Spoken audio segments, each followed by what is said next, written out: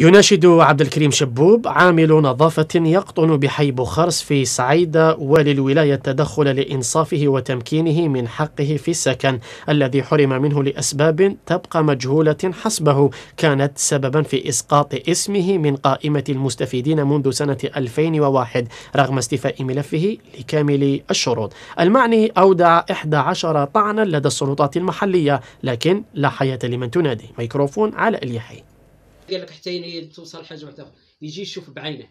عشرة تاع الطاعون ها هما وين؟ عشرة تاع القائمات.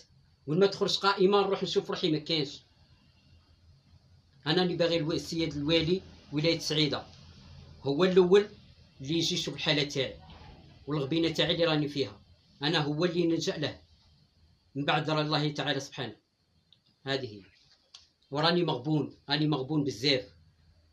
مغبون كما قال لك صيع حتى وين ما صبتش وين وين الحالة تاعي صيب بزاف كاع بزاف. نقدر ولادي اللي يدير عاد دوسي جديد يخرج يدي.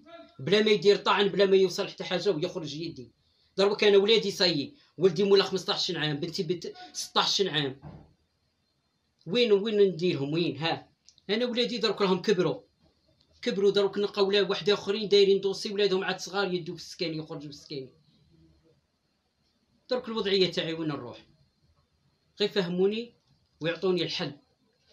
لرئيس البلدية توجهت له نصفني ما كما قال لك دار معايا المستحيل دار معايا كاع فوق اللازم. ما غبنيش. دروك وجهني الشاف دايرة. الشاف دايرة ما كان والو. على هاد الغبينه راني دروك صاي راني كما قال لك في حال الله غالب صاي بزاف كاع. راها وصلت لهنا. بزاف. Thank you.